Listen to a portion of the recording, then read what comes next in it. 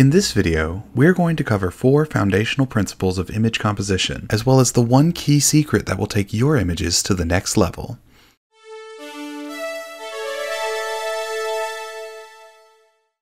Hey y'all, I'm Drake and this is Drake Makes Art.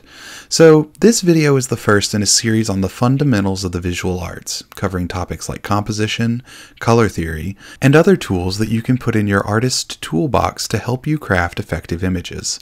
Today, we're going to be talking about composition, which is a technical term for how you arrange the elements of an image to lead your viewer's eye. And we're going to go over four foundational principles that you can use as tools to guide you when you're composing an image. Let's get started. Subject placement. So when you sit down to compose an image, obviously you're going to have something you're trying to represent. You know, the thing you're trying to take a picture of, or paint a painting of, or shoot a video of. And we call that something the subject. The first thing any artist has to decide when they set out to compose an image is where do I want to put the subject? Over the hundreds of years that humans have been creating visual art, we figured out that there are certain areas of the frame that just make for better compositions. Our eyes are just kind of naturally drawn to these focal points, and to find these focal points, we've created a couple of rules. First, there's the center rule, which says that if you put your subject in the center of the frame, it becomes the most interesting part of your image. Here, I've drawn a couple of yellow lines, and where these lines intersect is the exact center of this canvas. This is a privileged place in the composition because our eyes are naturally drawn to it. However, the center rule is great, but it's also a little boring. It's a little vanilla, so we have a second composition rule called the rule of thirds. And the rule of thirds says that if you take your picture and divide it up into thirds horizontally and vertically, where those lines intersect are the most visually pleasing places for your subject. So here, I've drawn these blue lines to divide this canvas up into thirds, and this grid of nine squares provides a kind of blueprint for placing your subject in the frame. Here we have Migrant Mother, which is a rather famous photograph by Dorothea Lange from the Great Depression. Now, if I cut my guides on, you'll see that this picture is a great example of the center rule and the rule of thirds.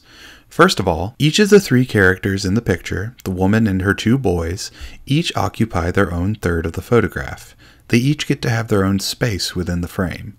Second of all, notice that the mother's face is centered around the intersection of the upper third line and the center line, and her left eye is also on that center line, which has the effect of drawing our eyes towards her face and allowing us as viewers to connect with her. You know, we're almost able to make eye contact with her. Let's look at another example. This is Sleep and His Half Brother Death, an oil painting by John William Waterhouse from the late 1800s. If we turn on our guides, we can see that sleep occupies the bottom and left thirds, but the real subject of this piece is death. His face is built around the upper left intersection here, his eye is centered on the left third line, and he takes up much more space than sleep does. However, I bet your eyes were still drawn to sleep first. That's because even though he isn't placed ideally in the frame, he's made to stand out with our second principle of composition, Contrast. Contrast is about differences, the differences between light and dark, and the differences between colors. There's a lot to cover here, and I'm going to put out another video covering all the ins and outs of color theory, but for now, let's just focus on the differences between light and dark. This is Nighthawks by Edward Hopper. It depicts a New York City diner late at night, and is a prime example of how contrast can be used to lead your viewer's eye. The world outside the diner is dark, while the interior is bright, drawing our eyes towards the figures inside. Likewise, if we go back to Sleep and his half brother Death, the majority of this image is dark and shadowy, but Sleep is in bright sunlight, so he's the first thing that jumps out at us when we look at the painting. Contrast is a great tool to use in composing your images because its effect on the viewer is almost immediate. The moment they look at the picture, their eye will be drawn to the part of the image that has the greatest contrast with the rest of the composition. Planes of focus. The next tool we're going to talk about is what I call planes of focus. You will also hear it called foreground, middle ground, and background.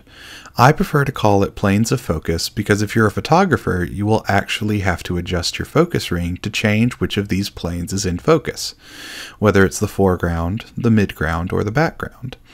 So, what are these planes? This one is best explained with an example. This is Wanderer Above the Sea of Fog by Caspar David Friedrich.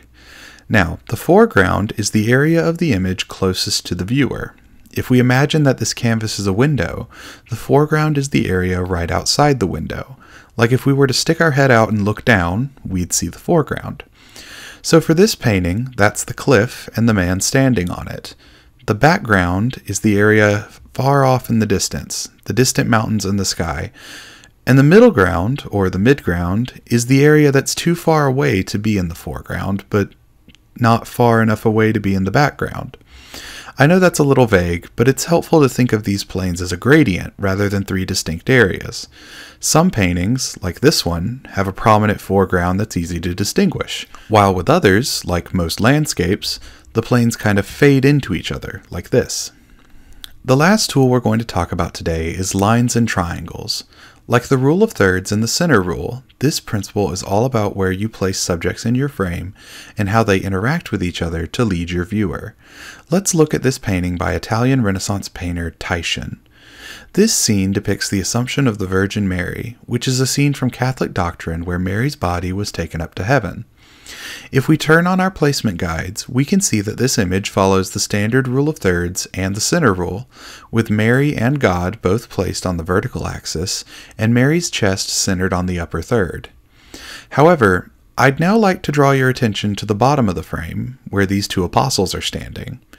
Notice that they are dressed in red, while the apostles around them are dressed in green, and they are reaching heavenward towards Mary. The red of their robes matches the red of Mary's dress and the red of God's cloak. So, by positioning these subjects in this way, Titian has created a triangle pointing upwards. This has the effect of leading the viewer's gaze from the apostles on the ground through Mary towards God.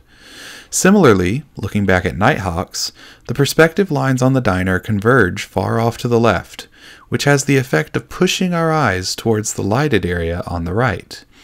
Both of these techniques, using compositional triangles and lines, are subtle yet effective ways you can lead your viewer through the experience of viewing your image. Okay, so now that I've given you a set of tools you can use to compose your image, I want to give you an extra tip on how to use those tools to create the most effective compositions you possibly can.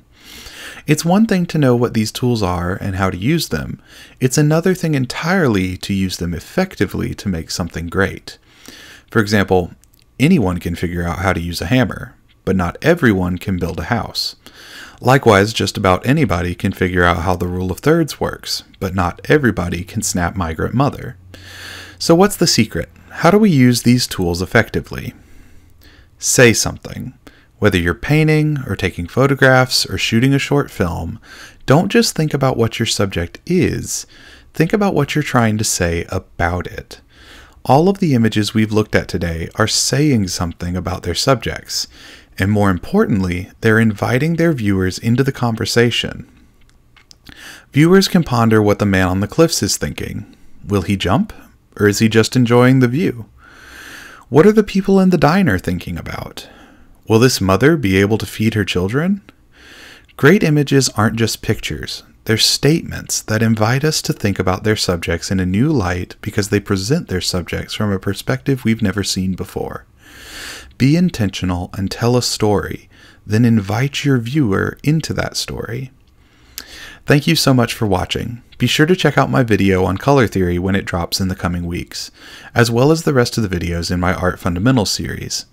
If you enjoyed this video, please give it a like and subscribe, and I'll see you next time when we make something new.